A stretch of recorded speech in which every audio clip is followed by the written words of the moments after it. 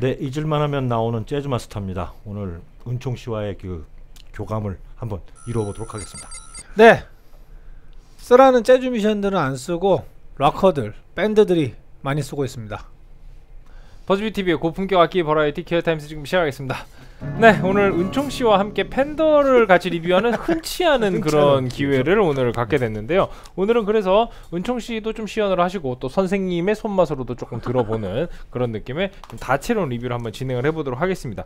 오늘 또 이렇게 그 같이 요거를 은총 씨와 함께 리뷰를 하는 이유가 뭐 재즈 마스터라는 게 기본적으로 재즈 하는 사람들 좀 치라고 만들었는데 재즈하는 사람들이 별로 관심을 안 줬던 모델이잖아요. 맞아요. 그래서 만든 의도와 실제 실 사용하는 그 층이 달라가지고 어, 공급과 수요가 어긋난 뭔가 되게 아, 예. 독특한 포지션에서 어, 새롭게 수요가 창출된 어떻게 보면 역사적으로 굉장히 독특한 포지션을 가지고 있는 정말 독특한 네. 기타라고 할 수가 있겠죠. 은총 씨가 말씀하신 것처럼 쓰라는 재즈 뮤지션들은 안, 안 쓰고, 쓰고 오히려 막 게러지라든가 네 그런 얼터라든가 네. 이런 쪽에서 많이 사용을 했었고 그러면서 되게 지금 재즈 마스터를 봤을 때 재즈의 장르적인 사운드를 생각하시는 분들은 전혀 없고 오히려 되게 독특하고 특이한 느낌의 밴드 사운드를 생각하시는 분들이 훨씬 많잖아요.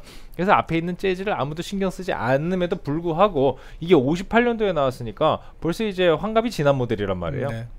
근데 시- 아직도 팬더 사이트에서는 재즈 뮤지션들을 위해 만들었다는 그 말을 말을 아직도 포기하지 안 않고 빼, 안 빼. 그리고 이제 되게 이게 이상한 게 음.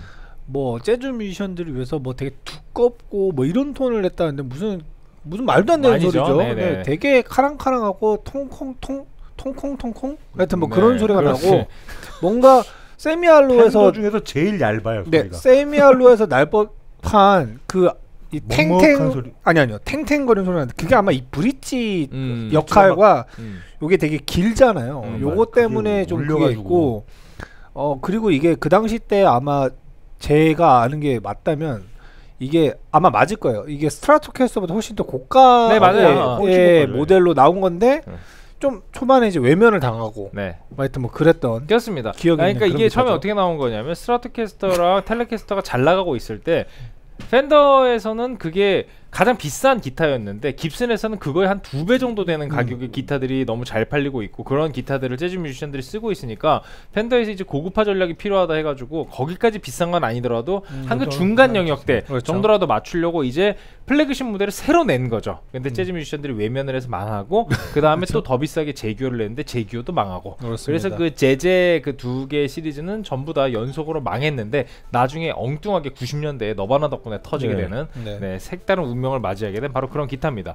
옛날에 그 재즈 마스터스라고 이제 조페스한테도 줬대요. 음. 근데 아, 조페스가? 예, 그러니까 뭐 거기서 이제 홍보를 어떻게 하냐면 조페스가 연주했던 막 이렇게 아. 하는데 조페스가 연주한 게 아니고 제발 좀 쳐달라고 약간 조페스한테 거의 음, 밀어줬는데 졸라- 졸랐네요. 조페스가 쳐, 이 뭐야 이러고 한 번 치고 말았던 음. 게 조페스가 연주했던이라고 이제 이렇게 그렇게 쳤는데 어, 치고 나서 아. 뭐야 이거 다시는 안 썼다 하더라고요. 그러니까 이 재즈 마스터가 지금 요런 디럭스의 전신은 울트라 모델로 사실 이렇게 새로 나왔다는 게 좀 약간 의미가 있어요. 뭐냐면은 요즘에 그 재즈 마스터가 그렇게 무시당하고 음. 천시당하고 음. 외면 받, 받았었는데 음. 이제는 이제 아티스트들한테 많이. 사랑받고 이제 관심도가 많이 올라가다 보니까 요런 모델로 나오기도 했고 실제로 요거 마테오스 아사토가 얼마 전에 또 시연도 했었고 음. 이제 뭐 팬더에서 불러가지고 이제 기타를 쓰게 연주도 하고 했었고 그렇습니다. 네. 그래서 이 재즈 마스터는 그냥 뭐 재즈 뮤지션들을 타겟팅했다라는 그 얘기만 빼면은 사실은 굉장히 독특한 세계관을 맞습니다. 가지고 있는 멋진 기타예요. 어 그래서 음.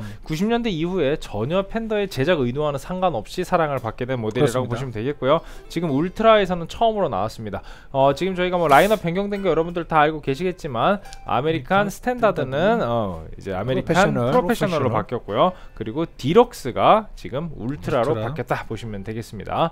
요게 American Ultra에서는 처음으로 나온 Jazzmaster고요. 가격은 꽤 비쌉니다. 319만 네 9천 많이 원. 비쌉니다. 네. 400만 디럭스 원 모델에서 나오다. 보니까 네, 꽤 비싸요. 일단 권소가가 399였고 할인 가격이 319만 9천 원, 상당히 비싼 320만 원짜리 모델입니다. 일단 스펙을 먼저 살펴볼게요. Made in USA이고요. 전장은 104cm, 무게는 3.63kg, 두께는 40 플러스 1mm, 12fret 뒷둘레는 76mm입니다. 바디에는 alder gloss polyurethane finish가 적용이 되어 있고요. maple modern D shape neck이네요. 음. 그리고 Fender Deluxe die-cast sealed locking head machine이 올라가 있고요. locking 잘 달렸네요. 그렇습니다. 튜닝 되게 나가거든요. 네, 앞쪽으로 돌아와서 bone nut의 너트 너비는 42.799mm, 조금 널찍한 편이죠. 분노술 덮어가는. 네, 로즈우드 지판에 지판 곡률 반지름이 compound radius가 적용이 되어 오. 있어요. 10인치에서 14인치로 음. 네, 점점점 어, 넓어지는 254에서 355mm가 되는 그 지판 곡률을 반지름을 가지고 있습니다. 스케일 길이는 648mm, fret은 21 medium jumbo fret입니다. Ultra Noiseless Vintage Jazzmaster single coil pickup이 두 개가 장착이 되어 있고요. 그리고 two volume인데 neck 쪽에 이제 그 S1 스위치가 있잖아요. 예. S1 스- 스위치를 누르게 되면은 그냥 다 열린다고 보시면 됩니다. neck과 bridge가 다 열리고 어, 시리즈로 연결이 되고요. 그다음에 one tone one slide 스위치, 두 개 offset 스위치 neck bridge에 장착이 되어 있고 3way toggle 스위치가 있는데 3way toggle 스위치 같은 경우에는 이제 pickup이 어, S1 스위치가 눌려 있지 않을 때 neck에다 놓으면은 neck on, 가운데다 놓으면 쌍on, bridge에다 놓으면 bridge on 이렇게 되고요. 그 다음에 phase 스위치는 위쪽으로 놨을 때가 in phase가 되고요. 아래쪽으로 놨을 때가 out of phase가 되고요. 그리고 그 옆에가 각각 bridge 볼륨, neck 볼륨 이렇게 되어 있는 회로 뭐 구조를 굳이 보실 얘는 뭐 쓸 이유가 있습니다. 없네요. 뭐 그렇죠. 네. 그러니까 뭐 시연할 때. 네. 네, 뭐 그- 여러분들 뭐 세팅 갑자기 확 바꾸고 싶을 때 네, 그럴 네. 때 쓰시면 될 것 같고. 이, 그렇습니다. 제가 63년 산 오리지널 Jazz 그- master가 있거든요. 네. 그러니까 아까 쳐봤는데 확실히 Ultra랑 진짜 오리지널 vintage랑은 소리가 확실히 결이 많이 다르네요. 음. 한번 들어볼게요.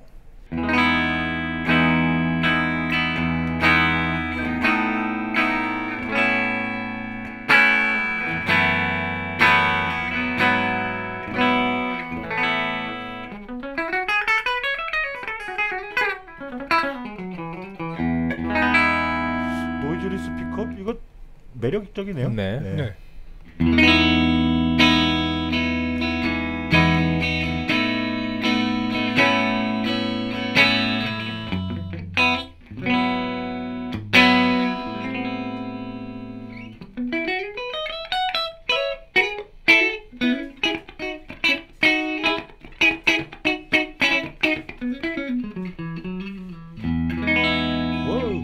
비슷한 소리 나네요. 네.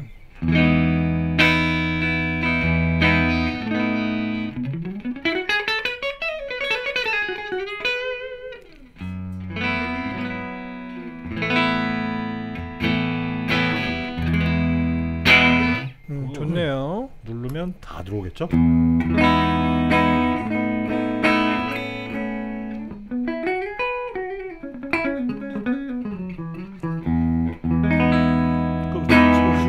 눌렀으니까 이거는 무용지물이 된 거죠. 그렇겠네요. 네. 네, 다 전- 열리니까 다 열리니까. 네, 픽업 셀렉터가 의미가 없죠. 네. 마샬로 수고하셨습니다. 바꿨습니다.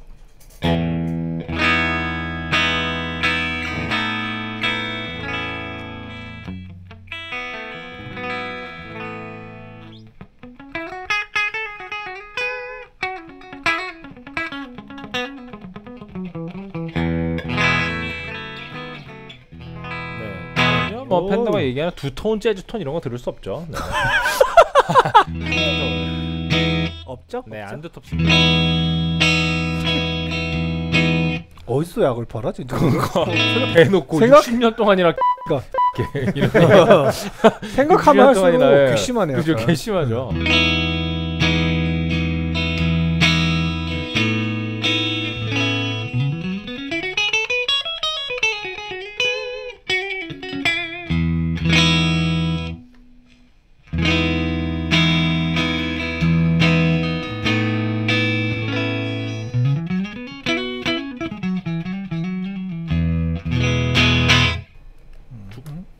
두껍다 야.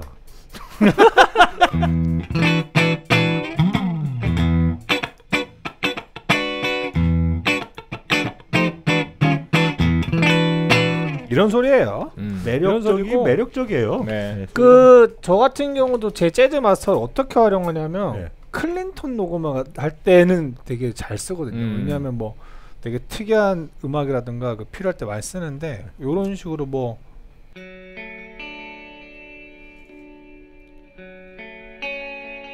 근데 제 거랑 소리가 많이 다르긴 해요. 음. 진짜 어떤 기타에도 없는 소리긴 없는 소리예요. 네.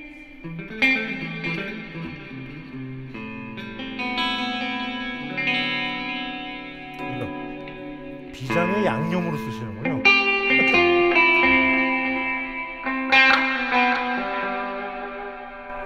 근데 이제 요즘에는 R&B 기타나 뭐 이렇게 음. 앰비언트 사운드에서 많이 쓰시더라고요. 음.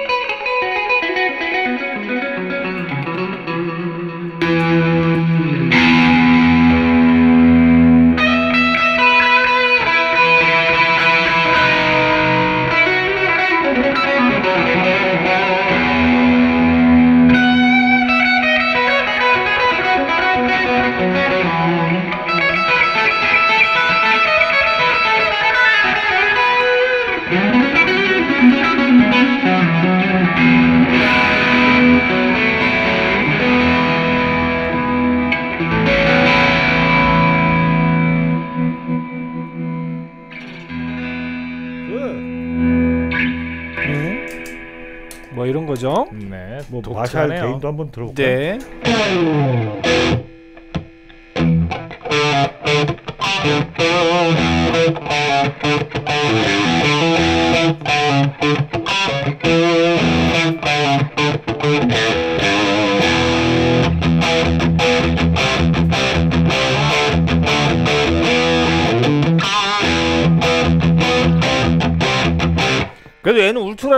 소리가 나네요. 제 거 재즈 맛은 절대 이런 소리 안 나요. 여기까지 개인이 안 먹는다는 얘기죠? 아, 그것보다 좀 꽁꽁거려요. 어. 그 아, 뭐 통통 예, 막 탱꽁 낑꽁 막 이런 소리가 진짜. 어, 선생님 마샬기엔 조금만 더. 마샬? 개인만 네. 좀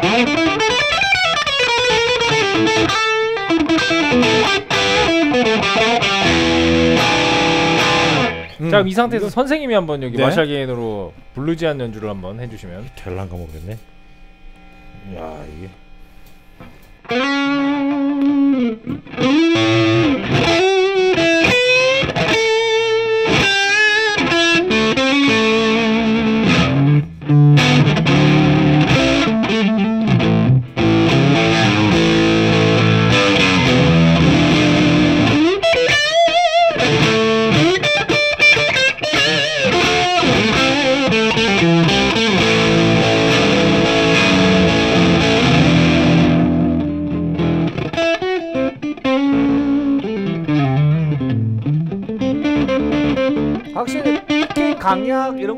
봤죠. 네. 아무래도 이제 고가의 악기다 보니까 반응성 확실히 좋긴 하네. 네. 확실히 개성이 있어요. 개성이 확실한 악기라서 포지션이 정확하네요. 어, 좋습니다. 확실히 좋네요. 선생님 손 맛을 이렇게 막 이렇게 쥐락펴락 하는 것들을 다 받아주는 그만큼의 반응성을 갖고 있는 일단 기타 자체는 비싼 기타에서 네, 볼수 있는. 특징들이 많이 나오기는 합니다. 다만 톤의 구성과 사운드가 좀 독특하다는 거, 네. 그게 포인트가 될 것 같네요. 자, 이것도 은총 씨 시연을 마저 시연? 네, 듣고 와서 이야기하도록 하겠습니다. 뿅. 뿅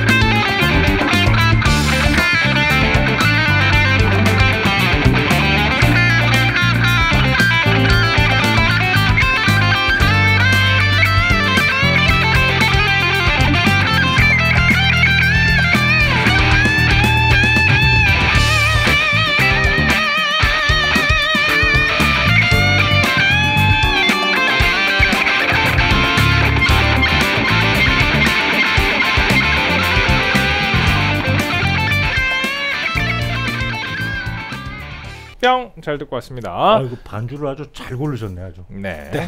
재즈 역시 마스터 보유하고 있으신 분이 제일 잘 치는 것 같아요. 음, 자기가 갖고 있어서 네. 하지만 은총 씨가 갖고 있는 또 오리지널이랑은 많이 다르다. 많이 그거에 다르다. 비해서는 확실히 많이 확장되고 개량된 맞아요. 느낌의 그런 사운드. 그분은 연세가 있으셔가지고 힘들어요. 아 네. 이제 아, 네. 뭐다 다 힘들어. 뭐 치면 힘들어요, 되게. 음, 여기서 이제 체력이 많이 빠진 사운드라고 생각하면 되겠네요. 그러니까 확실히 레인지는 넓은데 음, 힘들어요. 힘들어요. 어. 그렇군요. 그러니까 녹음할 때만 써요. 녹음할 때. 음, 음. 그 독특한 양념으로 딱딱 쓰시는 거죠. 네네네. 그렇습니다. 라이브 때는 뭐, 뭐할 수가 없고 아니, 뭐- 힘이 들었어.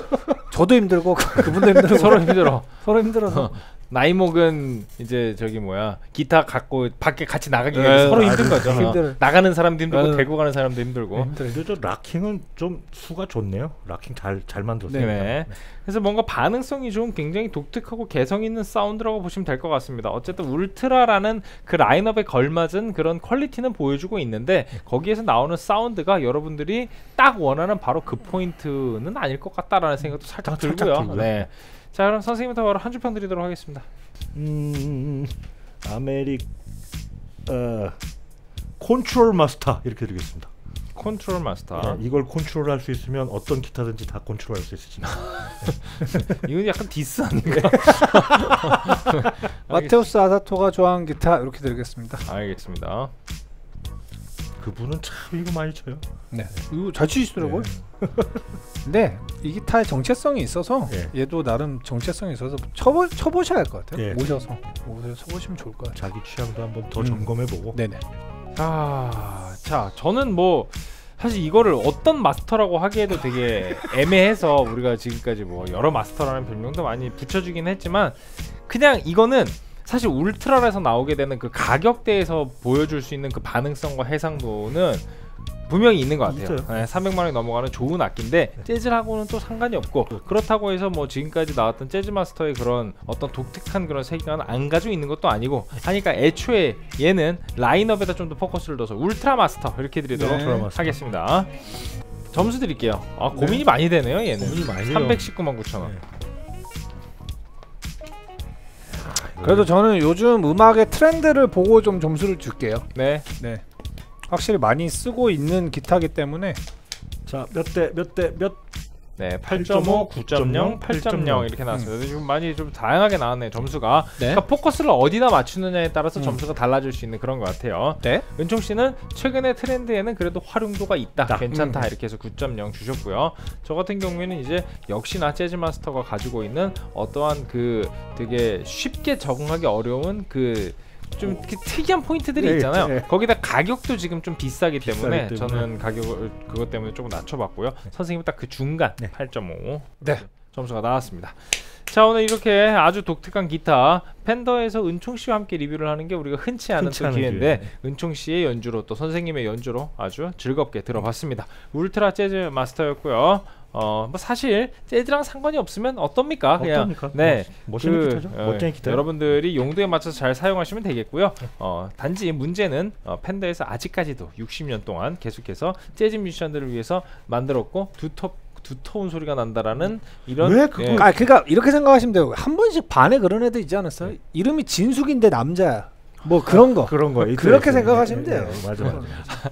그러니까 아버지가 딸인 줄 알고 이제 이름은 먼저 지어놨는데 아들인 거라. 아니 뭐 그렇게 안 어울린다라고는 뭐 늘 생각하고 있지만 그걸 아버지가 계속 아들이라고 우기는 게 문제인 거야. 그러니까. 딸이라고 우기는 게 철수라고 지어놨는데 딸이고. 어, 그러니까 아버지가 우기는 게 문제인 거죠. 그 아무도 뭐라고 하지 않아요. 그거는 아버지가 문제인 거예요. 그래서 저 후, 후배 중에 김철기거든요 이름이 철기. 근데 네. 수학 선생님 여선생님입니다. 아, 아, 아 김철기요. 진짜요? 예. 옛날에 정말요, 그거 그 진짜로 거- 아버지가 아들인 줄 알고 이름 줘놨다 그냥 썼대요. 와 철기는 너무 강력하다. 네. 옛날에 그 국어 선생님 김수학 있었잖아요. 유명한 예. 국어 선생님. 그런 느낌이 아닌가. 네 맞습니다. 네, 그런 맞습니다. 겁니다. 판에 불을 지르려 그러네. 자, 어, 오늘 이렇게 재즈 마스터 같이 보셨고요. 다음 시간에 또 재미있는 악기 가지고 돌아오도록 하겠습니다. 네 여러분 유튜브 구독과 좋아요는 저에게 큰 힘이 됩니다. 기어! 타임스.